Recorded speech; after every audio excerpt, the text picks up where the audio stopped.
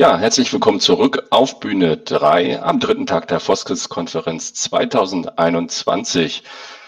Ja, Spektralbibliotheken sind geeignet, um Satellitenbilder auszuwerten und wie man diese Spektralbibliotheken in QGIS erstellen kann und visualisieren kann. Das stellt uns jetzt Benjamin Jakimov vor. Und zwar stellt er uns genau das QGIS-Plugin Nmap-Box vor. Guten Tag, ich bin Benjamin Jakimov von der Humboldt-Universität zu Berlin und ich möchte Ihnen jetzt zeigen, wie man in QGIS mit der MMAP-Box sich Spektralbibliotheken zunutze machen kann. Ja, was sind Spektralbibliotheken? Spektralbibliotheken beschreiben Spektralprofile. Und ja, Spektralprofile, wie sieht sowas aus?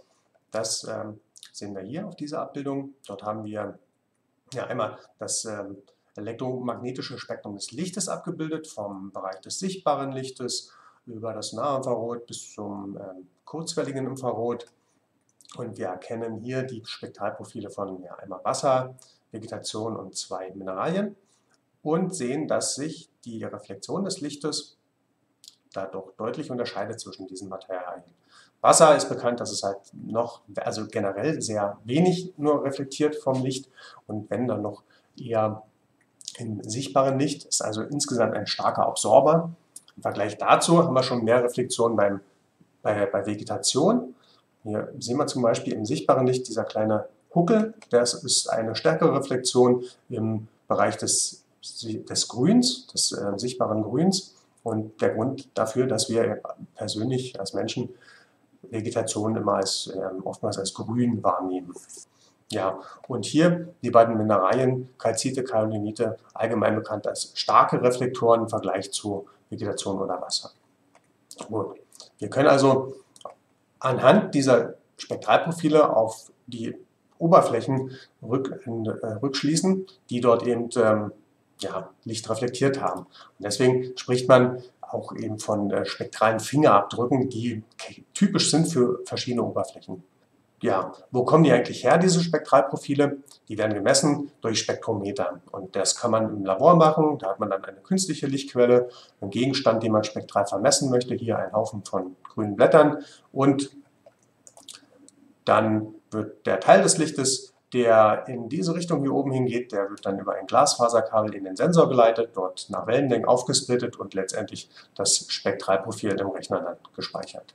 Und das können wir natürlich alles auch in einen Rucksack packen, mit Akkus versehen und dann tragen wir unser Feldspektrometer äh, in der Umgebung und können vor Ort unter Sonnenlichtbedingungen auch dort die Reflexion messen, wie das hier der Dr. Marcel Schwieder macht. Wenn man jetzt nicht so ein Spektrometer hat, dann bekommt man Spektralprofile auch aus äh, ja, Spektralbibliotheken, die öffentlich zugänglich sind. Hier drei Beispiele. Eins äh, zum Beispiel äh, die Specchio, die wird von der Uni Zürich angeboten. Das sind Webseiten, wo man nach bestimmten Kriterien filtern kann und dann äh, Spektralprofile ja, angeboten bekommt mit verschiedenen Metadaten, wie die aufgenommen wurden. Hier zum Beispiel Spektren, die über ein Schneefeld gemessen wurden mit Hilfe eines Goniometers. Das ist dieser Bogen, da kann man genau einstellen, aus welchem Winkel gemessen werden soll. Und ja, ähm, das ist dann für Forschungsfragen sehr interessant. Dann kann man die sich dort diese Profile herunterladen, kriegt dann eine Textdatei mit den Metadaten und hier letztendlich die für die einzelnen Wellenlängen in Nanometer den Reflexionswert. Und man kann Spektralprofile natürlich auch simulieren. Hier ein Beispiel aus der MMapbox. Das ist ein Tool geschrieben von Martin Danner und Matthias Wocher von der LMU München. Dort kann man sich genau angucken, wie am Beispiel von Blattreflexionen eben sich das Spektralprofil ändert, wenn wir bestimmte biophysikalische Parameter ändern, in dem Fall zum Beispiel den Wassergehalt und worauf sich das auswirkt im jeweiligen Reflexionsspektrum. Sehr interessantes Tool. Nochmal zurück zu Marcel, der da im Feld misst. Der hat also sein Spektrometer, nimmt genau für einen Punkt ein Spektrum auf. Und jetzt stellen wir uns vor, wir haben mehrere Spektrometer, können die alle in einer Reihe aufstellen, können also zeitgleich mehrere Spektralprofile einmessen und gehen damit jetzt immer eine Reihe vorwärts, messen die nächste Reihe ein und so weiter und so weiter. Oder vielleicht haben wir auch noch mehr Spektrometer zur Verfügung und können die alle in einer Art Gitter, in einem Raster anordnen. Und Sie wissen schon, worauf ich hinaus will. Das ist dann das, was wir allgemein eben als ja, Rasterbilder einer Digitalkamera zum Beispiel kennen. Wir haben also ähm, x Spalten, y Zeilen und das ist halt die Anzahl der Pixel eines Bildes und für jedes Pixel haben wir also ein Spektralprofil gemessen. Diese Draufsicht auf Satellitenbildern, die ist ja jedem wahrscheinlich bekannt. Und wir können das jetzt aber auch in der MMAP-Box, können wir das um eine Dimension erweitern und in der Z-Dimension zum Beispiel die verschiedenen Spektralkanäle antragen. Das ist ein Beispieldatensatz einer simulierten MMAP-Szene. Die ist so auch in der MMAP-Box verfügbar. Das heißt, das kann man dann ähm, selber mal sich so darstellen lassen. Genau, MMAP. Der Begriff taucht jetzt schon mehrfach auf. MMAP ist eine ja, Satellitenmission. Der Satellit soll im nächsten Jahr, Anfang nächsten Jahres, soll der dann ins All gehen und Daten liefern mit einer, Satellitenbilder liefern mit einer räumlichen Auflösung von 30 Metern. Damit ist er vergleichbar mit, mit äh, Landsat, mit den Landsat-Satelliten, die auch eine 30 Meter Auflösung haben. Allerdings haben die nur, ja, die haben ähm, acht Kanäle in diesem ähm, Bereich des Lichtes, der uns interessiert, also vom sichtbaren bis zum kurzwelligen Infrarot. Und MMAP hat im Vergleich dazu 242 Kanäle. Und aufgrund dieser Vielzahl von spektralen Bändern unterscheidet man solche Spektralsensoren auch in multispektrale Sensoren und hyperspektrale Sensoren. Die Grenze zieht man da ungefähr bei 20 Bändern. Also alles, was weniger als 20 Bänder hat, aber mehr als ein, ähm, wird als multispektral bezeichnet, was darüber hinausgeht als hyperspektral. Die MBAT-Daten sollen dann frei verfügbar gemacht werden, so wie man das von Sentinel Landsat ähm, bereits kennt. Aber stellt sich natürlich die Frage, was macht man denn mit dieser ganzen Informationen, die, die in diesen 242 Bändern vorliegt? Und deswegen ist im Rahmen dieser MMAP-Mission ein Projekt die Entwicklung der MMAP-Box. Die wird von uns an der Humboldt-Uni und an der Uni Greifswald programmiert und hat das Ziel eben, ähm, ja, diese Nutzung der Hyperspektraldaten zu erleichtern. Deswegen machen wir das als Kugels-Plugin, also nutzen eine Plattform, die schon viele kennen, ähm, die zudem Open Source ist so dass halt die Anwendung äh, nochmals erleichtert wird. Wir programmieren das in Python natürlich, ähm, wird als, äh, unter einer Open Source Lizenz veröffentlicht und versuchen das auch bestmöglichst zu dokumentieren. Einmal Read the Docs, Webseiten und so weiter, aber es gibt im Rahmen dieser ähm, Hyper-Edu-Initiative hier, von der ich ähm, auch schon viele meiner Grafiken übernommen habe, Dort werden eben Tutorials und weitere Anleitungen bereitgestellt, die sich nicht nur mit der Ember-Box beschäftigen, sondern allgemein mit der Thematik, was sind Hyperspektraldaten, was können wir, können wir damit anfangen. Und neben unseren eigenen Entwicklungen werden auch ganz viele Beiträge für die MMAP-Box direkt durch andere Forschungsgruppen aus diesem ähm, MMAP-Kontext programmiert und äh, wo die dann gezielt halt für ihre eigenen Anwendungen aus dem Bereich Geologie, aus der Landwirtschaft oder eben aus der Gewässerfernerkundung ihre eigenen Applikationen da beisteuern. Ja, jetzt habe ich genug von der Emberbox ähm, erzählt, jetzt zeige ich die auch mal. Ich habe jetzt mein QGIS gestartet.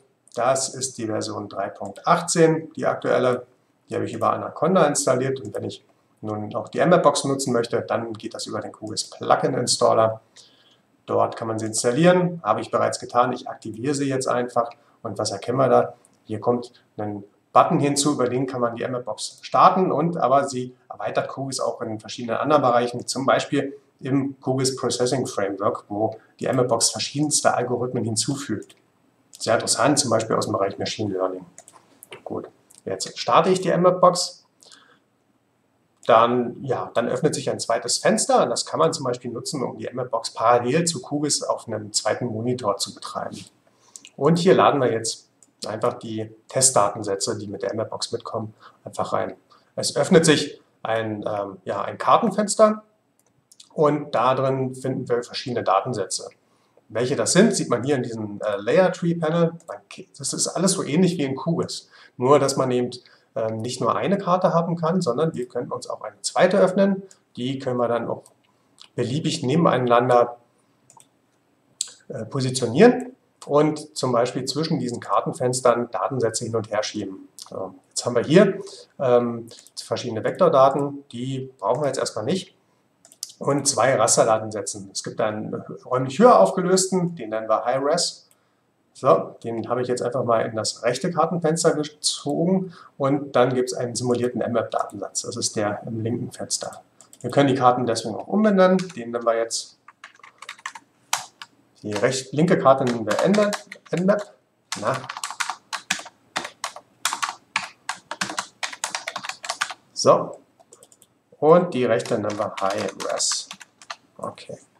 Und worin unterscheiden die sich, diese beiden Datensätze? Das sehen wir zum Beispiel hier in dem Data Source Panel, wo die MMap-Box grundsätzliche Informationen über die hier bekannten Datensätze anzeigt. Der MMap-Datensatz hat halt 177 Kanäle und der HiREST-Datensatz hat nur drei. Und zwar das, äh, ja, die Kanäle im sichtbaren Licht. Gut. Und jetzt können wir die eigentlich unabhängig voneinander nutzen, diese Kartendarstellung. Wir können die aber auch miteinander verlinken, und zwar, dass die auf den gleichen, äh, immer den gleichen Maßstab anzeigen und auch den gleichen räumlichen Ausschnitt. Und so können wir halt parallel mit diesen Karten navigieren und Pixel miteinander vergleichen. Wenn wir uns jetzt von so einem Rasterbild das Spektralprofil anschauen wollen, müssen wir einfach bloß hier äh, dieses Map-Tool aktivieren, um für eine bestimmte äh, Location, für einen bestimmten Ort äh, Informationen zu erhalten und dieses, äh, das Sammeln von Spektralprofilen. Und jetzt klicke ich einfach mal in das Mapbox rein und was sehen wir da? Es öffnet sich eine neue Datenansicht, eine neue Data View, nämlich ähm, eine äh, Spektralbibliothek. Genau. Und da werden jetzt automatisch die Spektralprofile angezeigt von den Pixeln, auf die wir raufklicken. In dem Fall mmap. Wenn wir das bei dem äh, Drei-Kanal-Bild machen, kriegen wir eben auch nur drei Datenpunkte zurück als Profil.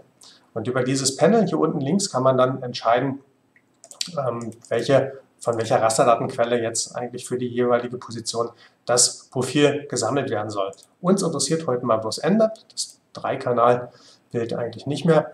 Ähm, das nehmen wir aber hier zum Navigieren. Dafür ist es ganz nützlich. Und jetzt ja, kann ich halt dieses hoch, räumlich hoch aufgelöste Bild gut nutzen, um zu navigieren. Könnte mir da auch ein OpenStreetMap-Layer reinlegen, um zu verstehen, was sehe ich denn da eigentlich alles für Oberflächen und sammle aber meine Spektralprofile aus dem mmap-Bild. Wie ja, sammeln. Also bis jetzt werden sie bloß angezeigt, wenn ich da ein, ein, Profil behalten möchte, zum Beispiel, weil ich jetzt erstmal Vegetationsspektren sammeln möchte, dann klicke ich hier auf Plus und suche mir das nächste. Okay. Wenn ich auch das ich dann behalten will, klicke ich wieder hier drauf. Und das kann man auch automatisieren. Das hat grundsätzlich, wenn man auf eine Oberfläche klickt, das Profil in die Spectral Library reingeschrieben wird, in diese hier. Dann kann man relativ schnell sich Spektren sammeln. Gut. Ich mache die MLBox jetzt endlich mal ganz groß auf dem Bildschirm. So. Ja, und jetzt hatte ich ins Abstract geschrieben, dass wir auch zeigen, wie man so eine Spectral Library nutzen kann, um ein Rasterbild zu klassifizieren. Wir machen das jetzt mal anhand dieser mmap-Szene und wollen eine ganz einfache Klassifikation machen und zwar einfach hier die Pixel danach unterscheiden, ob sie Vegetation sind oder nicht. Dazu sammle ich jetzt mal schnell weiter weitere Vegetationsspektren. Ja, hier in Baumbeständen, aber eben auch auf Feldern. Ja, man kann schön erkennen, wie die sich dann doch irgendwie alle unterscheiden voneinander trockene Vegetation.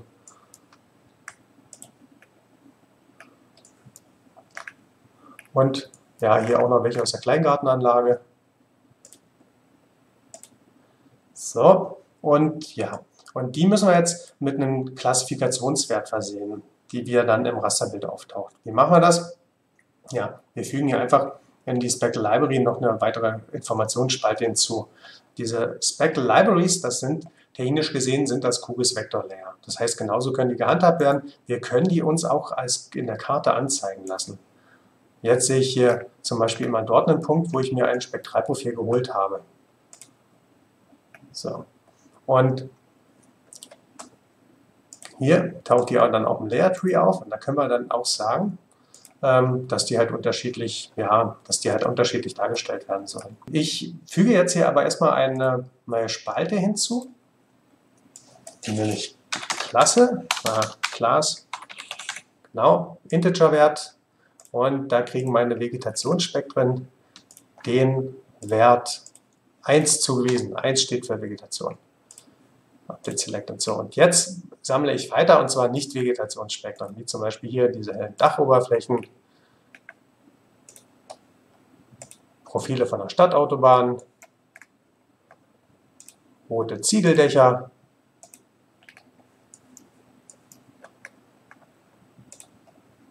weitere Dächer, Eisenbahnstrecke, genau, steht auch keine Vegetation.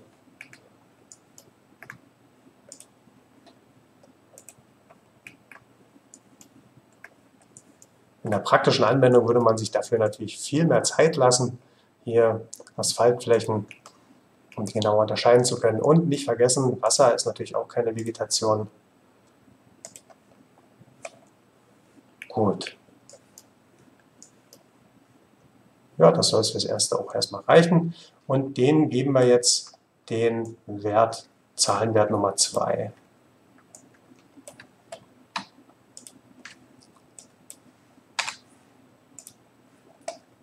Speichern das Ganze ab, gehen aus dem Editiermodus raus und wir können jetzt, ich sagte ja, also wenn das ein ganz normaler Kugelslayer ist, dann können wir den auch dementsprechend stylen. Das heißt, wir klicken jetzt hier auf Categorize Renderer, sagen, okay, der soll die Werte aus der, der Spalte Klasse nehmen. Was haben wir da? 1, 1 steht für Vegetation.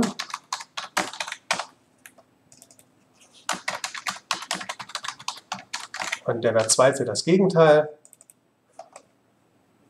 Dann wählen wir dementsprechend auch noch eine Farbe aus für den Punkt, also grün und nehmen wir grün und nicht grün. Okay.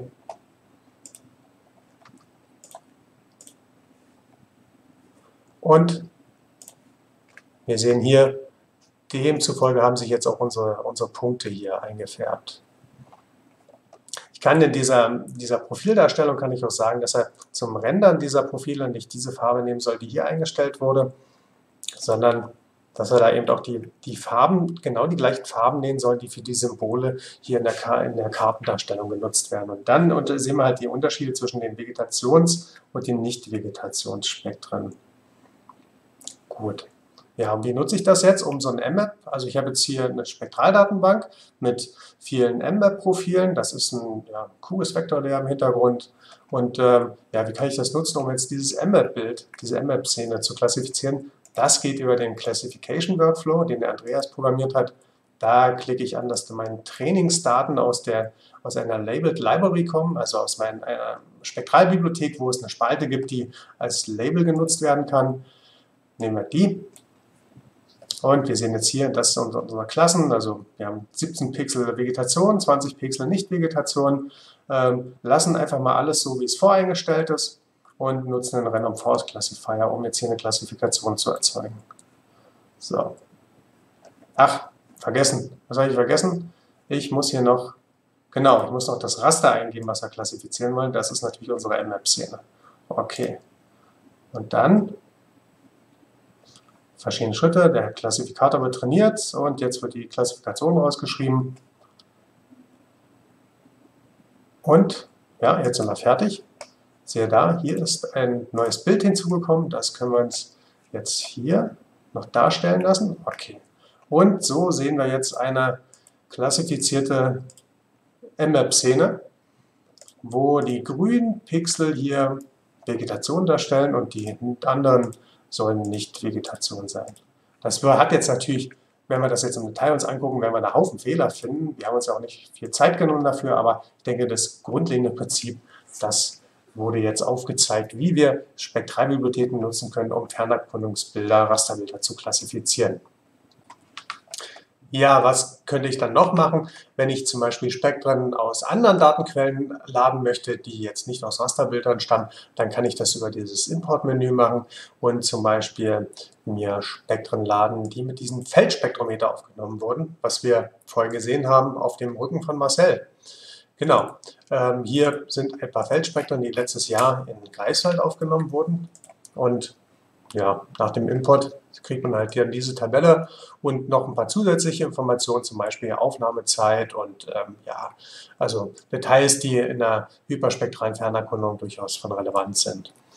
Genau. Und wenn ich die jetzt habe, dann kann ich mir da einzelne selektieren, die, die mich interessieren und ähnlich wie man das aus QGIS kennt mit Vektorgeometrien eines Vektorlayers, kann ich die dann auch nehmen, kopieren und in einen zweiten Vektorlayer, in unserem Fall in eine zweite Spectral Library, wieder einfügen. Das mache ich jetzt hier über diesen Paste-Button. Gut, hier sind unsere kopierten Spektralprofile. Und wenn ich möchte natürlich, dass die, die anderen Attribute mit übernommen werden, muss ich halt dementsprechend vorher erst noch diese Felder in dieser Tabelle erzeugt haben. Ja, und wenn ich das dann, äh, wenn ich mir dann meine eigene Spektralbibliothek zusammengestellt habe mit den Spektren meiner Wahl, dann kann ich die auch ähm, also exportieren in andere Formate, wie zum Beispiel ins NVSpec Library Format und äh, was da eben eine Rolle spielt. Standardmäßig speichern wir das als GeoPackage ab. Ist ja naheliegend. Im Hintergrund nutzen wir auch ein cooles Vector Layer Objekt, nehmen wir halt, äh, das ist GeoPackage und ja, Technisch Interessierte stellen sich jetzt sicherlich die Frage, aber wie kommt denn diese Information, zu welcher Wellenlänge ein einzelnes Rasterband gehört, wie kommt die eigentlich dahin? Woher weiß die Mapbox das? Ja, und das ist, äh, für uns ist das wirklich ein, ein kleines Problem, ähm, denn da gibt es keinen definierten Standard. Ja, das kriege ich auch leider nicht über die GEDA raus. Da gibt es keine einheitliche Schnittstelle, wie das äh, ausgelesen wird. Und ähm, ja, wir sind doch nicht die Ersten, die das erkannt haben. Wie man an diesem Datum hier sieht, ist das Problem schon ähm, ja, anderen ähm, aufgefallen. Und wie haben wir das gelöst? Wir nutzen einfach ähm, das GEDA-Metadatenformat, was ähm, genutzt wird, um halt zu existierenden Rasterbildern halt zusätzliche Metadaten abzulegen. Das so eine Datei wird auch automatisch erzeugt, wenn man in QGIS ähm, ein Rasterbild öffnet. Und da fügen wir einfach ähm, äh, diese Metadateninformationen ein, so ähnlich wie es in einem anderen ähm, Metadatenformat Standard ähm, aus äh, einer proprietären Software gemacht wird. Ja, Ausblick. Was haben wir sonst noch vor? Ähm, so einiges, ähm, natürlich allgemein für die MMapbox, aber insbesondere eben für dieses Spectral Library Modul, für das ich zuständig bin. Ähm, da soll es zum einen erweit dahingehend erweitert werden, dass es mehrere ähm, pro ähm, Zeile, pro Feature in diesem Vector Layer dann mehrere Spektralprofile nebeneinander quasi erfasst werden können, um dann halt zum Beispiel ein Feldspektrum und ähm, das ähm, dazugehörige Satelliten, zeitgleich aufgenommene vom, vom Satelliten stammende Spektrum mit nebeneinander vorrätig zu halten. Dann soll die Visualisierung wesentlich ähm, ja, ähm, vereinfacht, aber eben doch ähm, kom komplexer werden, äh, mehr Möglichkeiten zulassen und ähm, zum Beispiel, dass halt äh, ja, Labels halt generisch erzeugt werden können. Das, was man aus QGIS eigentlich schon kennt, da kann man ja ähm, an vielen Stellen diese QGIS Expressions nutzen, um dann Texte zu generieren. Und ähm, dann unter dem Stichwort Spectral Processing soll es eben auch die Möglichkeit geben, dass ähm, Spektralprofile genommen werden, durch eine auf dem QGIS Processing Framework basierenden äh, Modell dann eben ähm, weiterverarbeitet werden und dann on the fly ähm, dargestellt werden. Also hier zum Beispiel, das wären die Originalspektren, die wir in, ähm, in, der Spec, in einer Spec Library abgespeichert haben. Und das wäre jetzt so ein ganz einfaches Prozessierungsmodell, wo einfach der Spektralwert halbiert wird. Und das sehen wir dann eben hier in grün dargestellt, ohne dass das jetzt irgendwo abgespeichert sein muss oder lokal irgendwie vorliegen muss. Ja, dann bedanke ich mich für Ihre Aufmerksamkeit. wenn Sie Fragen haben, schreiben Sie uns ruhig eine E-Mail oder ja, besuchen Sie einfach unsere Seiten und bin jetzt gespannt auf hoffentlich doch entstandene Fragen. Dankeschön. Ja, Benjamin, vielen Dank für die Vorstellung der NMAP-Box. Und ja, ich glaube, das ist auf sehr großes Interesse gestoßen. Wir haben einige Fragen. Ähm, die erste Frage wäre, funktioniert diese Technik der Klassifikation über die selektiven Spektralprofile auch für multispektrale Datensätze? Ähm, ja, also theoretisch schon. Das ist halt die Frage dann im konkreten Anwendungsfall, ob die Informationen in den multispektralen Daten dann über ausreicht, um das Klassifikationsergebnis ähm, halt mit Hinrechnergenauigkeit zu erzielen. Aber ja, also ob das jetzt äh, äh, über 200 Kanäle sind oder vier äh, oder halt ein Datensatz mit reduzierter Featureanzahl oder so, das ist halt, ähm, ja, also muss man dann sehen, ob es reicht. Aber es funktioniert technisch, da machen wir keinen Unterschied. Okay. Nächste Frage. Können auch Flächen als Trainingsdaten genommen werden oder nur Punkte? Ähm, als Trainingsdaten für diesen Classification Workflow können sie genutzt werden. Ähm, es ist, was die Spectral Library betrifft, ist es noch nicht so, dass die, ähm, also ja, doch es geht, dass man auch Polygone angeben kann und dann werden für die, für jedes Pixel unter den Polygonen werden dann die Spektralprofile herausgeholt. Aber wenn das halt ähm, ein sehr großer Datensatz ist und dahinter viele Pixel sich verbergen, dann kriegt man halt dementsprechend eine riesige Spektralbibliothek. Und das ist halt die Frage, ob man das dann noch möchte. Ähm, ist der Workflow auch mit einem Orthofotomosaik RGBI realisierbar? Ja, eigentlich schon, ja, müsste man gucken. Konkret, ob das, also wie bei dieser Klassifikationsfrage vorhin mit der Anzahl der Bänder, die man zur Verfügung hat, muss man schauen, ob halt die ähm, sich im spektralen Datenraum verbergende Information ausreicht, um halt äh, das eigene Klassifikationsproblem zu entscheiden. Ja. Genau. Ähm, noch eine Frage, die petrographische Kartierung wäre damit auch möglich? Äh, ich weiß jetzt nicht genau, was ich mit der petrographischen Kartierung verstehen muss, aber ja, muss man gucken, ja, warum nicht? Also wenn wir, wenn die Spektralprofile da ausreichend sind, äh, die Informationen äh, zu ähm, besitzen, die, die für diese Kartierung äh, verlangt wird, dann ja, könnte das äh, durchaus möglich sein, denke ich. Und noch eine letzte Frage. Äh, ändert sich das Farbspektrum äh, ändert sich das Farbspektrum auch in Abhängigkeit vom Winkel des einfallenden Lichtes? Aber also selbstverständlich, natürlich. Also das ist nicht so einfach, wie ich es da dargestellt habe. Wenn man da weiter ins Detail geht, wird man da viele Unterschiede finden.